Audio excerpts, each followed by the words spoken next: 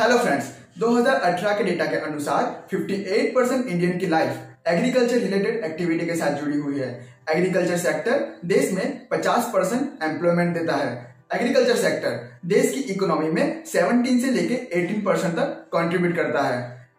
2020 में जब हमारी देश की जीडीपी माइनस तक पहुँच गई थी, तब एग्रीकल्चर एक अकेला सेक्टर था जिसका ग्रोथ पॉजिटिव रहा था। ये सब मुझे आपको इसलिए बताना पड़ रहा है क्योंकि देश की आधी आबादी जिस सेक्टर के साथ जुड़ी हुई है, जिस सेक्टर ने देश की ग्रोथ में इतना योगदान दिया हुआ है, उस किसान जब आज अपने हक के लिए प्रोटेस्ट कर रहे हैं, तब उनके लिए बात करने को कोई तैयार नहीं है। इंडियन टीवी मीडिया तो रिया, कंगना और दीपिका की गाड़ियों के पीछे भाग रहा है। जरा आप खुद ही देख लीजिए। बताते हैं हमें जो जानकारी मिली थी इस गाड़ी के साथ आइएगा। हमें जो गा, इस गाड़ी के बारे में जानकारी मिली थी वो यही मिली थी कि दीपिका पादुकोण किस तरह से दीपिका आगे वाली ब्लैक वाली गाड़ी ब्लैक वाली गाड़ी ब्लैक वाली गाड़ी हम उसी उसी के बिल्कुल बिल्कुल बगल में वो गाड़ी हम लगाएँगे। और ये देखिए रिपब्लिक भारत रिपब्लिक भारत इस वक्त दीपिका की गाड़ी के बगल में गाड़ी है। क्या दीपिका आप ड्रग्स लेती है दीपिका दीपिका पादुकोण बताइए दीपिका पादुकोण बताइए क्या आप ड्रग्स लेती है फ़िलहाल ये मर्सिडीज गाड़ी जो दीपिका पादुकोण दीपिका पादुकोण जो इस गाड़ी से स्लो करके चलाइए दीपक आज़ादी पार्क दीपिका की गाड़ी को फॉलो कर रहे हैं हम स्लो लीजिए पीछे पीछे आने दीजिए उनको तो आज हम इस वीडियो में डिस्कशन करेंगे कि किसान प्रोटेस्ट क्यों कर रहे हैं और उनकी डिमांड्स क्या है। किसानों के प्रोटेस्ट के पीछे सरकार द्वारा पार्लियामेंट में लाए गए तीन बिल को जिम्मेदार माना जा रहा है। हालाँकि सरकार ने यह बिल को किसानों के लिए ऐतिहासिक बिल बताया है। यह बिल्स कुछ इस प्रकार है। पहला बिल है the farmers produce trade and commerce promotion and facilitation bill 2020 इस बिल को गवर्नमेंट ने वन नेशन वन मार्केट नाम दिया है। दूसरा the farmer empowerment and protection agreement on price assurance and farm service bill 2020 यह कॉन्ट्रैक्ट फ़ार्मिंग का bill है। तीसरा बिल है the essential commodities amendment bill 2020 और इस बिल के पार्लियामेंट में लाने के बाद बीजेपी की सबसे पुरानी सहयोगी पार्टी अकाली दल ने उससे नाता तोड़ दिया है। इसके अलावा बीजेपी और आरएसएस का जो किसान संगठन है, भारतीय किसान संघ, उसने भी इस बिल को किसान विरोधी बताया है।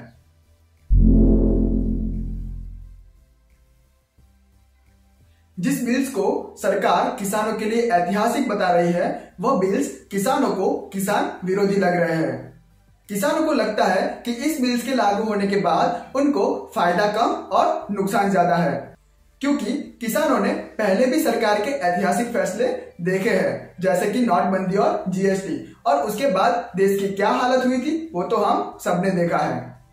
तो ऐसी क्या बात है इस बिल्स में, जो कि किसानों को पसंद नहीं आ रही है? इस बिल्स के आने के बाद किसानों को लग रहा है कि धीरे धीरे करके सरकार एमएसपी यानी कि मिनिमम सपोर्ट प्राइस को खत्म कर देगी। क्योंकि इस बिल्स के आने के बाद धीरे धीरे एपीएमसी मंडियाँ खत्म हो जाएगी। हालाँकि सरकार और प्राइम मिनिस्टर ने लोगों को यह भरोसा दिया है कि उनकी एमएसपी को खत्म करने की कोई योजना नहीं है। लेकिन किसानों की मांग यह है कि सरकार जो बात ट्विटर और टीवी मीडिया पे आके बोल रही है, वही बात को वो बिल्स में भी जोड़ दे, ताकि सही तरीके से किसानों को एम्पावरमेंट किया जाए और उनको कानूनी संरक्षण प्रोवाइड किया जा सके। इस बिल के आने के बाद प्राइम मिनिस्टर और सरकार के सारे मंत्री एक बात ज़ोर शोर से उठा रहे हैं कि इस बिल के आने के बाद किसान अपनी फ़सल को देश में किसी भी कोने में जाके बेच सकता है। एक तरीके से किसान को हमने आज़ादी दी है। लेकिन एक बात मैं आपको बता दूँ कि हमारे किसानों पे कभी भी ऐसी पाबंदी नहीं लगाई गई है कि वो दूसरे राज्य में जाके अपनी फ़सल नहीं बेच सकते। किसान अपनी प्राइवेट कैपेसिटी में देश के किसी भी कोने में जाके अपनी फ़सल बेच सकता है। यानी कि ये आज़ादी पहले भी थी और आगे भी रहेगी। शायद कुछ लोगों को लगता होगा कि हमारे देश में किसानों को आज़ादी नहीं है और प्राइम मिनिस्टर नरेंद्र मोदी ने पहली बार किसानों को ये आज़ादी दी है। तो उन लोगों के लिए मैं एक वीडियो दिखाना चाहता हूँ, जो 2016 में प्रधानमंत्री मोदी ने ई नाम के उद्घाटन के तौर पे दिया था। नए कृषि सुधारों ने देश के हर किसान को ये आज़ादी दी है। कि वो किसी को भी, कहीं पर भी अपनी फ़सल, अपने फल, सब्ज़ियाँ अपनी शर्तों पर बेच सकता है। अब उसे अपने क्षेत्र की मंडी के अलावा भी कई और विकल्प मिल गए हैं। अगर मैं उससे तुरंत सौदा करेगा और अपना माल मंगवा देगा। अब जब 2016 में ही उनको आज़ाद कर दिया गया था कि वो अपनी फ़सल कहीं भी जाके बेच सकते हैं तो 2020 में उनको ये वादा दूसरी बार किया जा रहा है। नए कृषि सुधारों ने देश के हर किसान को ये आज़ादी दी है कि वो किसी को भी, कहीं पर भी अपनी फ़सल, अपने फल, सब्ज़ियाँ अपनी शर्तों पर बेच सकता है। अब उसे अपने क्षेत्र की मंडी के अलावा भी कई और विकल्प मिल गए हैं। लेकिन इसमें भी एक प्रॉब्लम है, क्योंकि हमारे देश के 85 परसेंट किसान मार्जिनलाइज किसान हैं। यानी कि उनके पास दो हेक्टर से कम ज़मीन है। यानी कि उपज भी कम ही होगी। इसको एक एग्ज़ाम्पल के थ्रू समझते हैं कि गुजरात का एक किसान है जिसके खेत में एक ट्रक में भर सके उतने गेहूँ की पैदाइश हुई है।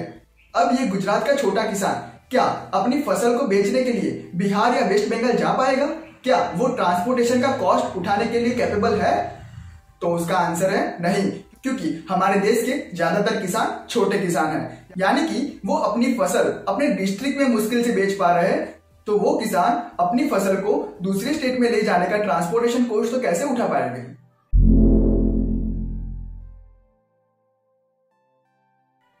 सरकार का कहना यह है कि एपीएमसी मार्केट में बहुत सारे बिचौलिए, यानी कि मिडलमैन हैं, जो कि किसानों से सस्ते में अनाज खरीदते हैं और ज़्यादा पैसों में व्यापारियों को बेच देते हैं, यानी कि किसानों का मुनाफा ये मिडलमैन कमा लेते हैं। लेकिन इस बिल के आने के बाद अब प्राइवेट कंपनियाँ सीधे किसानों के पास से खरीद सकेगी यानी कि अब किसानों का एक्सप्लोटेशन नहीं होगा। लेकिन यहाँ एक बात समझने जैसी है कि प्राइवेट कंपनी हर किसान के खे, एक खेत से दूसरे खेत तो जाने वाली है नहीं। यानी कि अब जो बिचौलिए जो एपीएमसी मार्केट में थे वो अब प्राइवेट कंपनी में आके बैठ जाएँगे जो कि किसानों और प्राइवेट कंपनियों को मिलाने का काम करेंगे। यानी कि इस बिल के आने के बाद भी मिडल मैन का प्रॉब्लम तो सॉल्व नहीं होगा। एक तरह से मिडल मैन का होना ज़रूरी भी है। इसको एक एग्ज़ाम्पल के थ्रू समझते हैं। यानी कि मेरे पास एक घर है जो मैं बेचना चाहता हूँ। तो क्या मैं हर घर जाके पूछता फिरूँगा कि आप मेरा घर लेना चाहते हो या नहीं चाहते हो? तो ऐसे वक्त पे मुझे मिडलमैन काम आएगा, जो कि एक सेलर को और दूसरे बायर को कनेक्ट करने का काम करता है।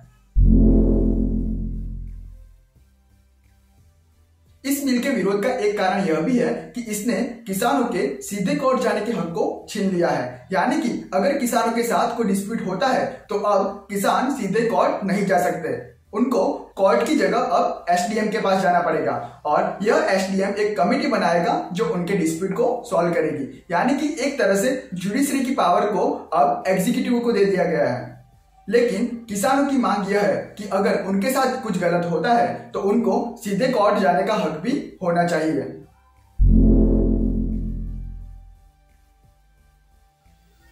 यह बिल कॉन्ट्रैक्ट फ़ार्मिंग को भी फैसिलेट करती है। यानी कि अब कोई कंपनी किसानों के साथ सीधा कॉन्ट्रैक्ट कर सकती है। वो भी फ़सल उगने से पहले कि वो फ़सल उगने के बाद कुछ एक्स अमाउंट से सारी फ़सल खरीद लेगी। अब इसकी अच्छी बात यह है कि किसानों को फ़सल उगाने से पहले ही अपना बायर मिल जाएगा। अब इसमें किसानों की मांग यह है कि इस बिल के साथ एमएसपी को भी जोड़ा जाए, यानी कि कोई भी कंपनी एमएसपी से कम पैसों में कॉन्ट्रैक्ट न कर पाए, जिससे उनको एक सिक्योरिटी महसूस हो। अब यह सिक्योरिटी इसलिए भी ज़रूरी है क्योंकि किसानों के पास बार्गेनिंग पावर कम है, क्योंकि किसानों के साथ डील करने के लिए सामने बहुत बड़ी बड़ी कंपनियाँ होगी। और उनके सामने हमारा किसान प्रॉपर बार्गेनिंग नहीं कर पाएगा। इसके अलावा एक प्रॉब्लम यह भी है कि कभी कभी क्या होता है कि किसानों ने अपनी फ़सल को निकाल लिया है, लेकिन कंपनियाँ उसको ले जाने में देरी करती है, जिसकी वजह से किसान की फ़सल खराब हो जाती है और उसकी वजह से कंपनियाँ उनको प्रॉपर दाम नहीं देती है।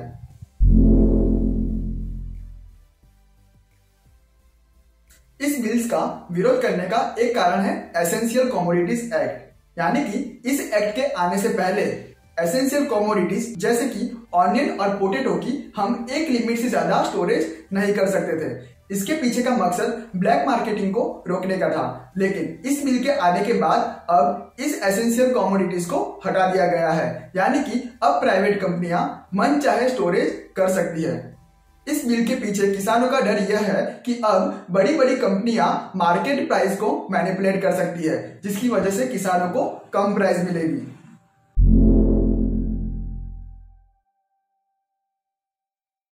सरकार ने बोला है कि एमएसपी और एपीएमसी का एग्जिस्टेंस सिस्टम वैसा का वैसा ही रहेगा। लेकिन हमने पास्ट में बीएसएनएल के एग्ज़ाम्पल को देखा हुआ है कि बीएसएनएल के साथ क्या हुआ? जियो के आने के बाद सारी टेलीकॉम कंपनियों ने अपनी सर्विस को कम प्राइस में देना स्टार्ट कर दिया। लेकिन उनके सामने हमारा बीएसएनएल कंपटीशन नहीं कर पाया। और एक टाइम तो ऐसा आ गया कि जब बीएसएनएल को बेचने तक की नौबत आ गई थी। यही चीज़ एपीएमसी के साथ भी हो सकती है, क्योंकि शुरुआत में ये प्राइवेट कंपनियाँ किसानों को अच्छे अच्छे दाम देगी, जिसकी वजह से किसान एपीएमसी में जाना बंद कर देंगे, और एपीएमसी मार्केट मंडियाँ अपने आप ही बंद हो जाएगी। और जब एक बार एपीएमसी मार्केट मंडियाँ बंद हो गई, उसके बाद ये प्राइवेट कंपनियाँ किसानों को ज़्यादा प्राइस नहीं देगी, लेकिन उस वक्त किसान के पास एपीएमसी का ऑप्शन अवेलेबल ही नहीं होगा, क्योंकि सारी मंडियाँ तो बंद हो चुकी होगी। तो इस डर को ध्यान में रखते हुए सरकार को किसान संगठनों की डिमांड पे सोच विचार करने की ज़रूरत है। जो सिस्टम हम आज अपने देश में लागू करना चाहते हैं, उस सिस्टम को अमेरिका, ब्रिटेन और फ्रांस जैसे डेवलप्ड कंट्री पहले ही लागू कर चुकी है और वहाँ यह सिस्टम पूरी तरह से फेल रहा है। क्योंकि इस सिस्टम के लागू होने के बाद उस डेवलप्ड कंट्रियों में किसानों का सुसाइड रेट बढ़ा है। तो ऐसी फेल सिस्टम को हमारे देश में लागू करने से बचना चाहिए। हाँ मैं मानता हूँ कि एपीएमसी एक्ट में बहुत सारी बुराइयाँ हैं और किसानों ने भी समय समय पे इस एपीएमसी एक्ट में बदलाव की मांग की है। लेकिन वो बदलाव की मांग थी, ना कि पूरी सिस्टम को बदलने की मांग थी। तो नई सिस्टम को लागू करने से अच्छा है कि जो एपीएमसी सिस्टम हमारे देश में है, हम उसी में कुछ सुधार करें।